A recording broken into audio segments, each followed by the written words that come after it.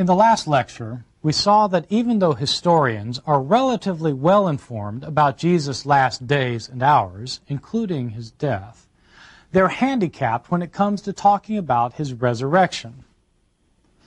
For one thing, our sources are full of discrepancies on almost every point in their accounts of what happened when Jesus was raised from the dead.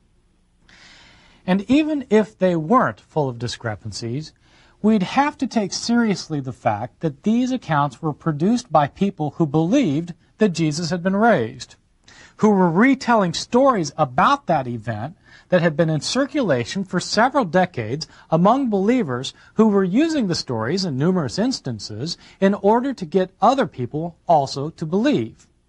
In other words, these are not disinterested accounts by outside observers. These are accounts by people who have a vested interest in the stories themselves. Even more seriously, since the resurrection of Jesus involves a miracle, that is, an event that by its very nature defies all probability, a historian, given the limits of the discipline, can never say that it probably happened. I should stress that I, am not saying that historians have to say it didn't happen. Historians simply don't have access to miraculous events of the past. If the, if the miracles did happen, the historian has no way to demonstrate that it happened. One thing that historians probably can say did happen, though, and can say it, in fact, with utmost certainty, is that sometime after Jesus' death, whether three days or three months or three years, sometime after Jesus' death, some of his followers began to claim that he had been raised from the dead. That much is certain. And that claim transformed our world. It might be useful to take a moment to reflect on the question of when Christianity actually began as a religion. When did Christianity as a religion come into being? We can't really say that Christianity began with Jesus preaching because Christianity is a religion that's rooted in a belief in Jesus' death for the sins of the world and his resurrection from the dead. Whereas Jesus preached about the Son of Man, who was soon to come to earth in judgment against all those aligned against God, the early Christians preached about Jesus, who had died and been raised from the dead.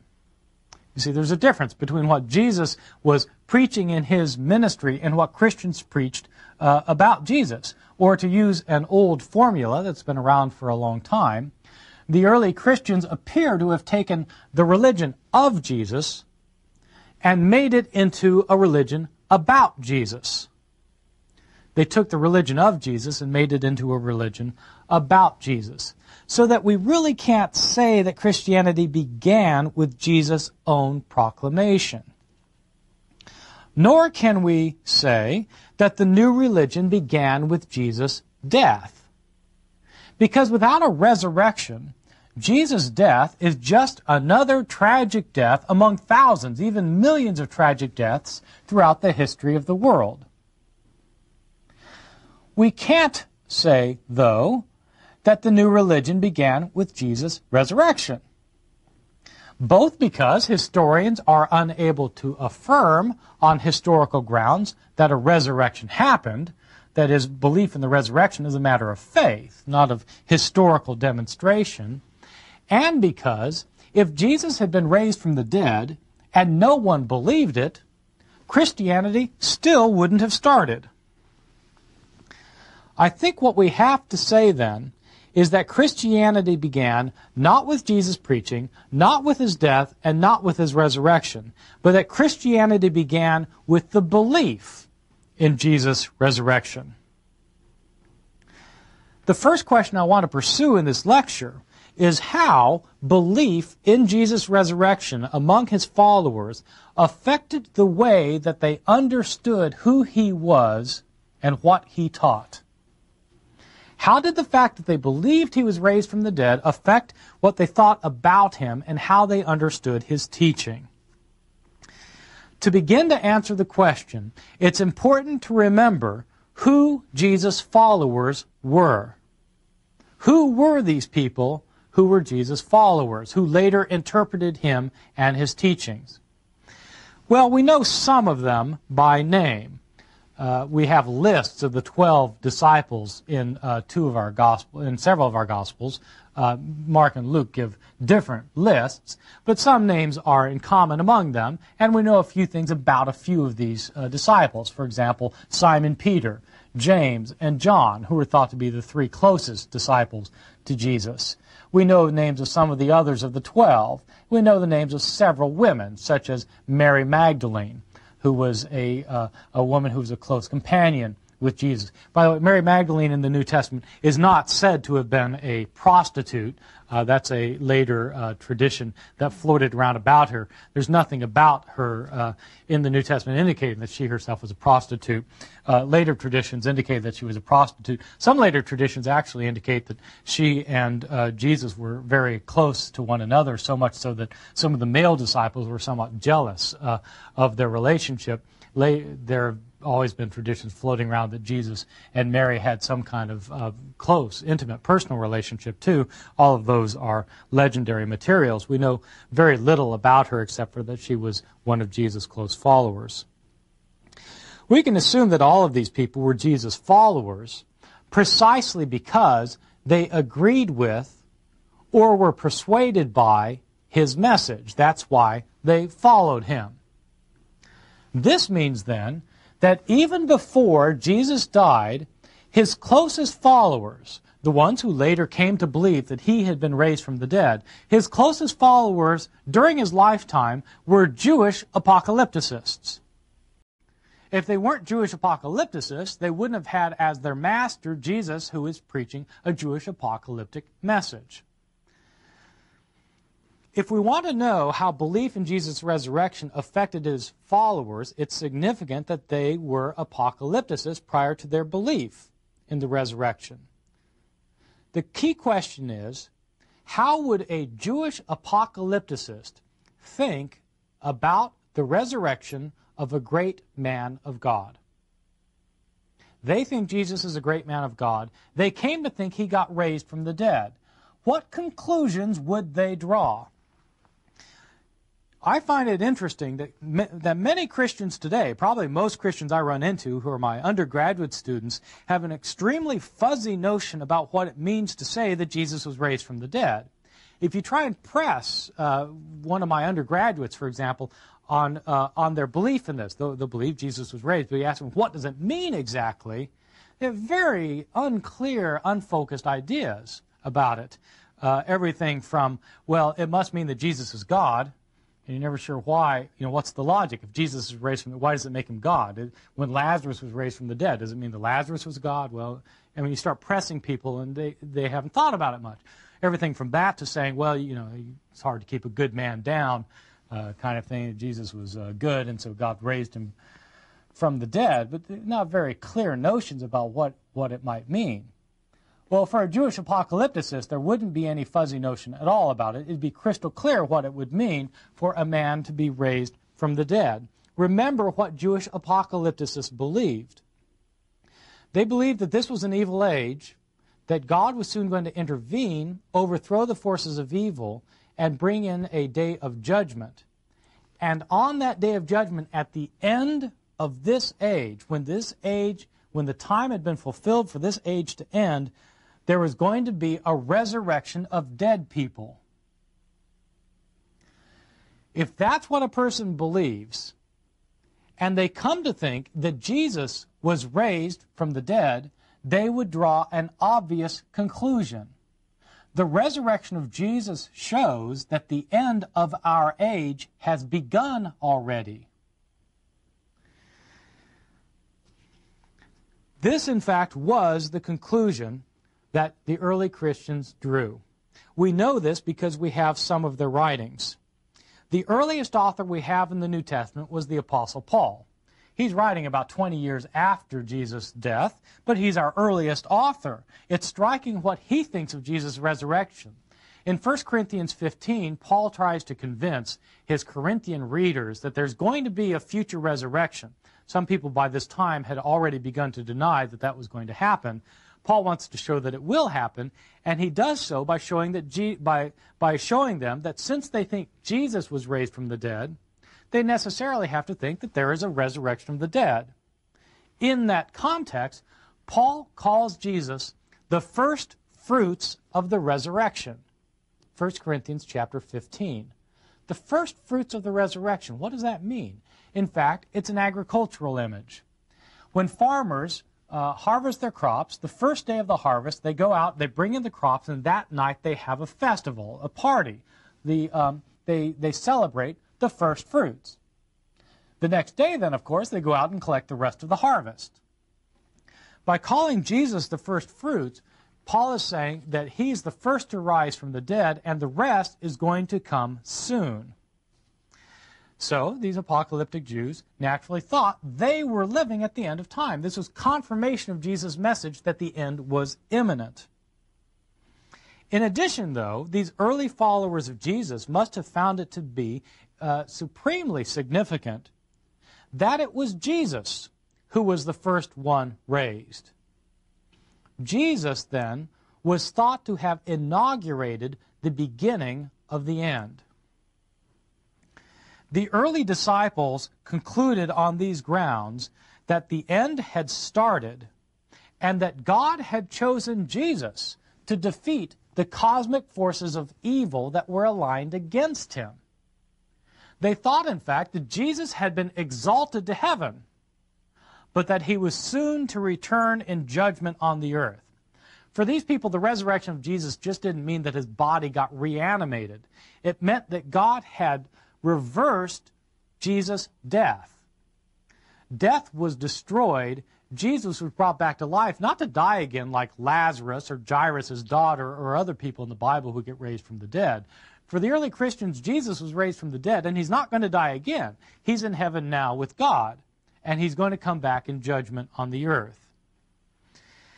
In other words, the belief in Jesus began significantly to affect how people understood he, uh, how, under, how people began to understand his relationship to God, to the world, and to the salvation of the human race. Because he was raised, it changed everything these people thought about Jesus. I want to consider the changes of their views of Jesus in several ways uh, by showing you how people began to think differently about Jesus once they thought that he, he was resurrected. His followers, of course, knew that during his lifetime, Jesus had talked about God as a father, uh, the likening uh, God to a kindly parent who will give his children what they need. Once his followers came to think that Jesus got raised from the dead, they began to think that God really was Jesus' Father in a, in a unique way. That in fact Jesus was the one and only Son of God. During Jesus' lifetime, he talked about the coming Son of Man, who would arrive on the clouds of heaven in, in a mighty act of judgment against God's enemies. His followers thought, once they came to believe that he had been raised, that he himself was coming back from heaven. In other words, that Jesus was the Son of Man. During his lifetime, Jesus talked about the kingdom of God that was soon to arrive, and he evidently maintained that he would have a place of prominence in it. After they began believing in his resurrection, his followers came to think that, that that was precisely what would happen, that Jesus would reign as the future ruler, the king of the Jews, the Messiah.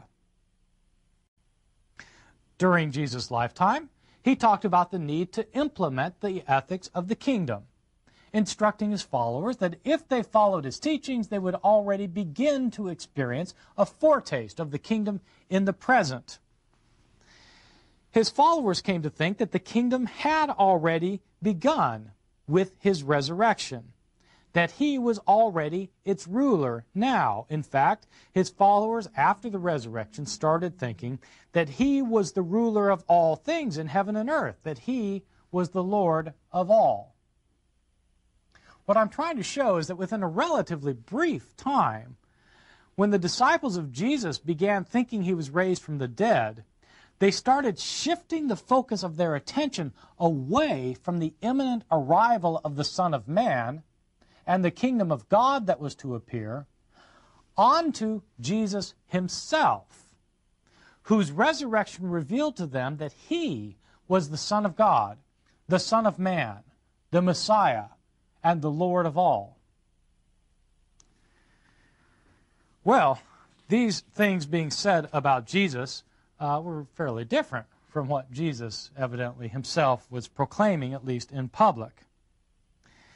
Jesus' early followers found that it was rather difficult to convince, to convince other people about these claims concerning Jesus. These followers were themselves Jews. They lived uh, as Jews. They lived among Jews. And so the people they first tried to convince about Jesus were their fellow Jews. They wanted to convince their fellow Jews that Jesus was all these things the Son of God, the Son of Man, the Messiah, the Lord. And they found it rather difficult.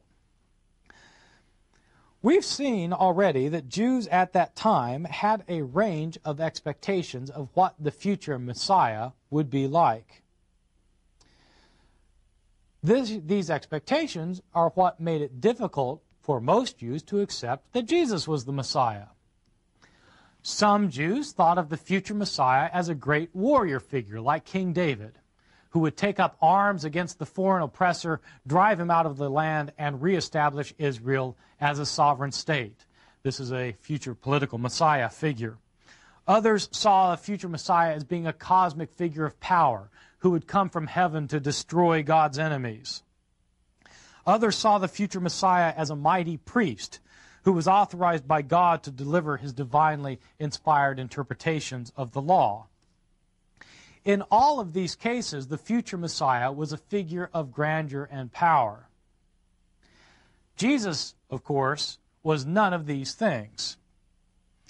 Jesus was widely known, insofar as he was known, to be an itinerant preacher from rural Galilee who offended the authorities and so was crucified as a common criminal. To say that this preacher crucified for crimes against the state was the Messiah struck most Jews as completely ludicrous. It struck many Jews, in fact, as being beyond ludicrous, as being blasphemous against God. Christians today tend to think that, of course, the, of course, Jesus got crucified because that's what was supposed to happen to the Messiah. I need to reemphasize, though, that prior to Christianity, we have no indication that any Jew anywhere at any time thought that the Messiah was going to suffer and die, not even suffer and die for the sins of the world. There's not a solitary reference to any such idea in any pre Christian Jewish text, including the Hebrew Bible. Why then do Christians assume that this is what the Jewish Messiah was supposed to do? Uh, why do Christians assume that the Messiah was supposed to suffer and die? Many Christians have difficulty understanding why Jews don't accept Jesus as the Messiah. Many of my undergraduates don't understand how Jew, Jews can be so blind.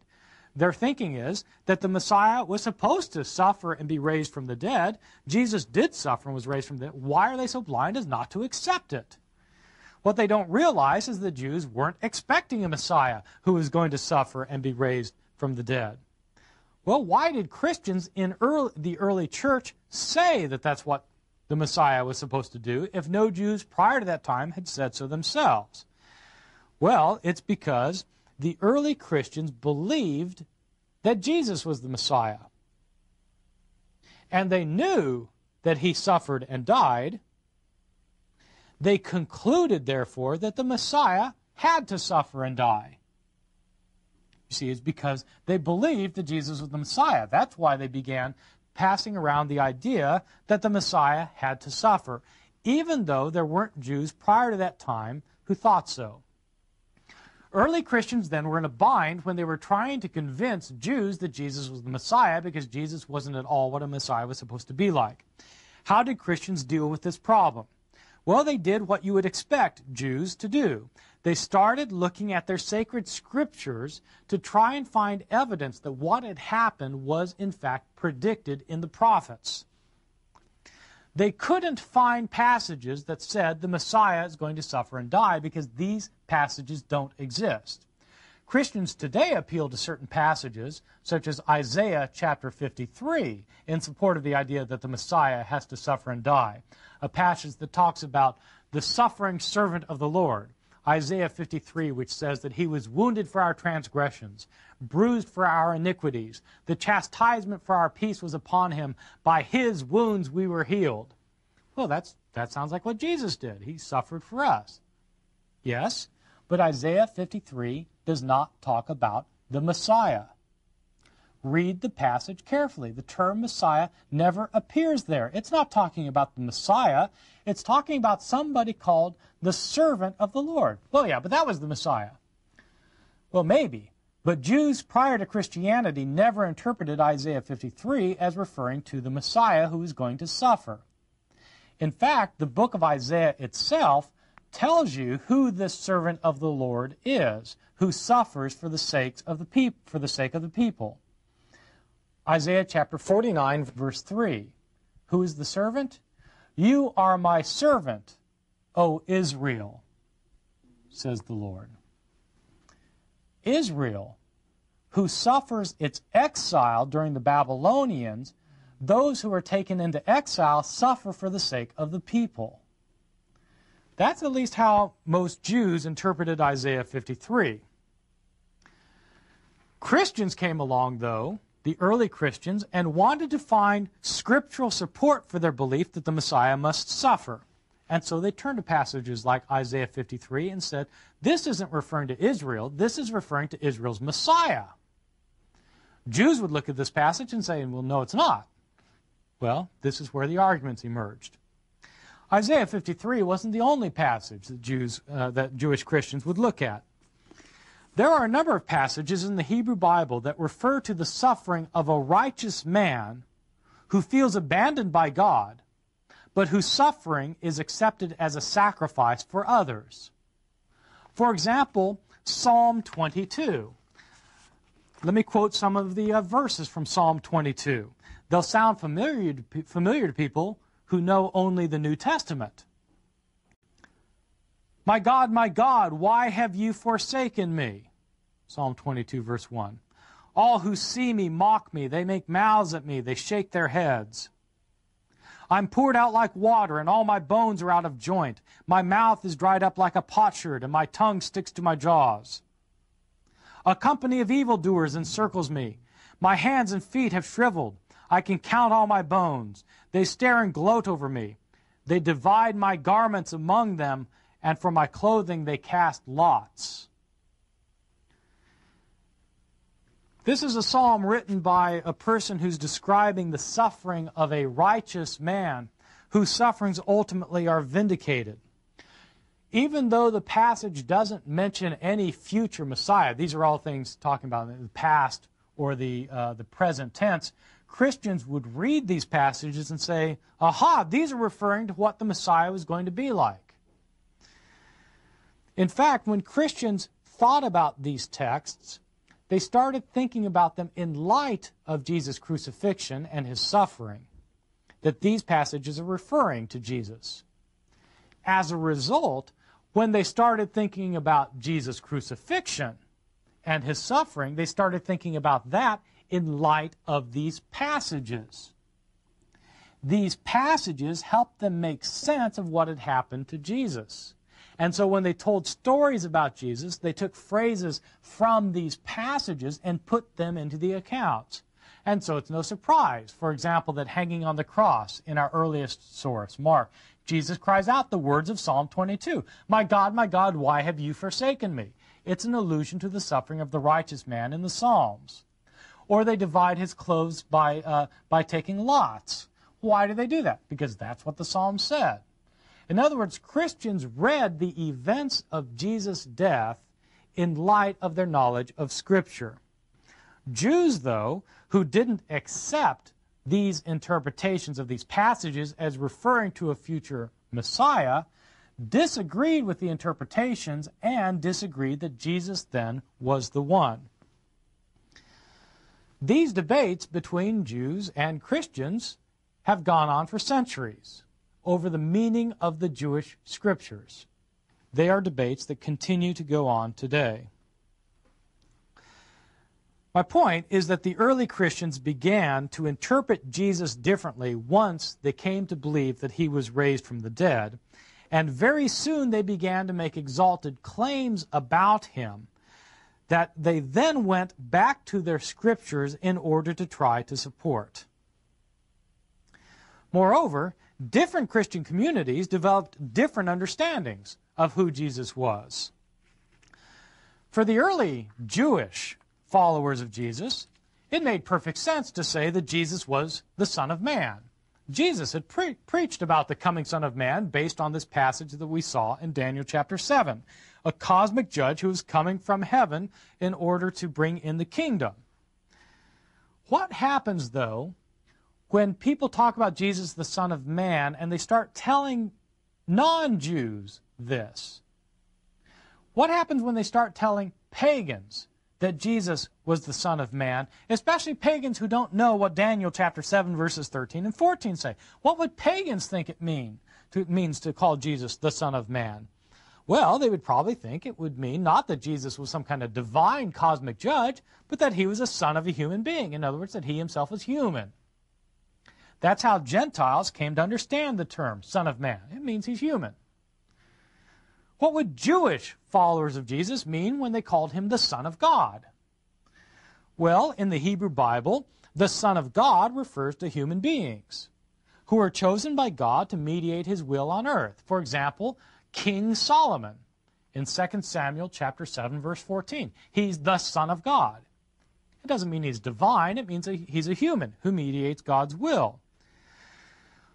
Jews then would mean something like that by Son of God. What would Gentiles think if you called somebody the Son of God? Well, they'd probably think that this is somebody who's half divine. He's God's actual Son.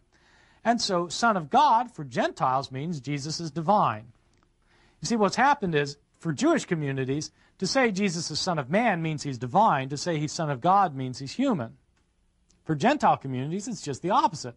Son of Man means that he's human. Son of God means he's divine uh, the, the meanings end up getting, getting reversed. Eventually, Christians came to proclaim both things about Jesus.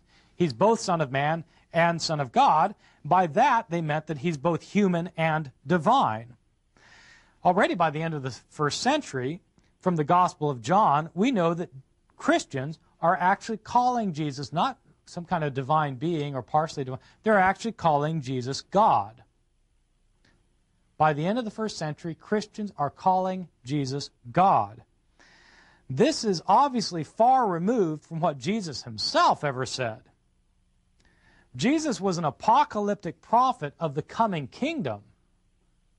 The Christians came to think of him as the creator of the universe. It's an astounding difference. The various notions of who Jesus was in these various Christian communities, some mainly Jewish, some mainly Gentile in the first century, affected the way each community told its stories about Jesus. This seems to be a certain fact of history uh, that these different communities are telling stories differently about Jesus depending on who's in the community and how they've interpreted Jesus in light of the resurrection. It's almost certain that this is happening, otherwise, you can't explain why the stories of Jesus were changed so frequently and in so many ways. Christians who continued to be convinced that Jesus was a righteous man, but nothing more than a man, who proclaimed the imminent end of the world, would obviously remember his own sayings far differently from Christians who thought that Jesus was God himself, who could provide eternal life in the here and now. The Gospels we've inherited reflect these differences among these different communities who believe different things about Jesus. But when these different Gospels with different perspectives are embodied into a solitary canon of Scripture, it causes people to overlook their distinctive perspectives and to assume that these Gospels are all basically saying the same thing. By putting the different Gospels into one canon, it leads people to think that the Gospels are all saying the same thing. A historical perspective shows, though, that these Gospels each has uh, its own take on who Jesus was. This historical perspective also shows that we are unable simply to take any one of these accounts at face value as preserving a portrait of Jesus as he really was. Instead, we need to sift through each of these portraits carefully and cautiously, seeking to, to, determine the actual words and deeds of the man who stands behind them all.